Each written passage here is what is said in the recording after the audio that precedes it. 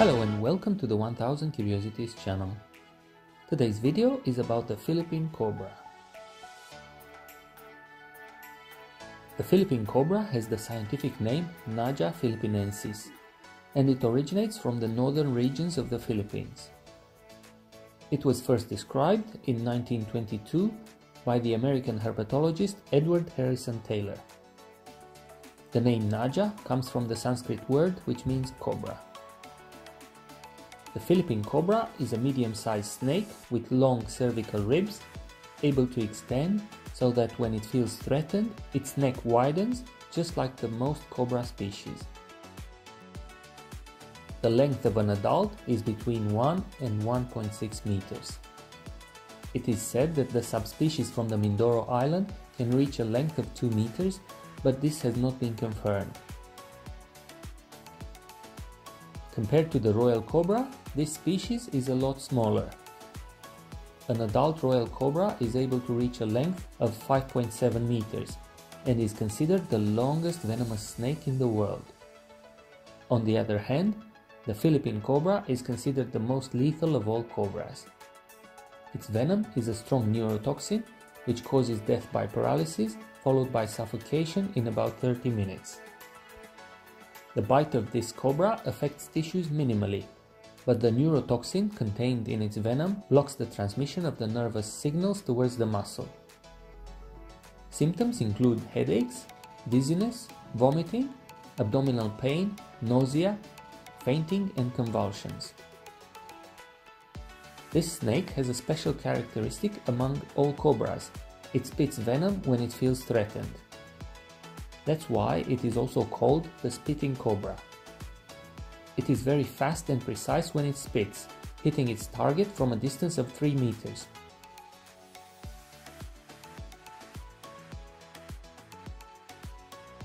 The consequences of its spit can be very serious, being able to blind a man or severely affecting his eyesight. It has an elliptical head with a short, rounded snout and large nostrils. Its eyes have moderate dimensions with brown round pupils. An adult snake has a light to medium brown color, while snakelets tend to be of a darker brown color. The habitat of the Philippine cobra includes low plains and forest regions, meadows, deep jungle and agricultural terrains, as well as human dwellings. They love water, being found in the vicinity of rivers and lakes. It feeds on small mammals, rodents, frogs, birds, lizards, eggs, or other species of snakes. Its predators are the birds of prey, meerkats, the royal cobra, and humans.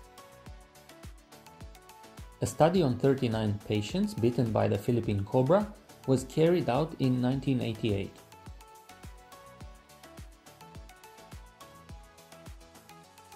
Neurotoxicity appeared in 38 cases and was the predominant clinical characteristic. Complete respiratory failure developed in 19 patients, 3 patients developed necrosis, and only 2 of the 39 died. Although venom toxicity can vary even between snakes of the same species, the Philippine cobra has the most toxic venom of all cobra species. In a top of the most venomous snakes in the world, the Philippine cobra ranks 7th. If you enjoyed this episode, don't forget to like, comment, share and subscribe to the channel. My name is Christian and until the next video, all the best.